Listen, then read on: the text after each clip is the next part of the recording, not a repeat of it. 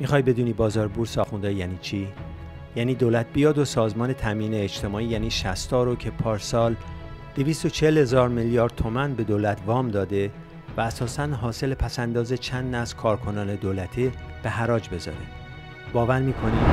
بازار بورس آخوندی یعنی شما بیای پتروشیمی دهدشت و که دوازده سال بعد از خلنگ زنی فقط 4 درصد پیشرفت داشته و جز زمین خالی چیزی نیست بذاری تو بازار بورس و سهام 100 تومنیش رو با دروغ و جار و جنجال برسونی به 700 تومن.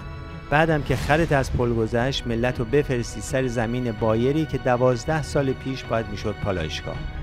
حالا اینو تماشا کن. اعتراف یک کارشناس حکومتی.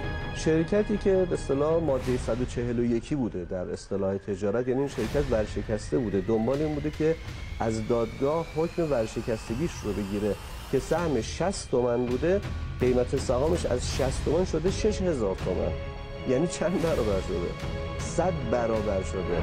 بازار بورس آخوندی یعنی شما همین کلاهبرداری رو زیر تابلوی پتروشیمی گلستان. که اصلا وجود خارجی نداره تکرار کنید و تا همین اردیبهشت 99 وسط مارمزون 28 میلیارد تومن مردم سرکیسه کرده باشید.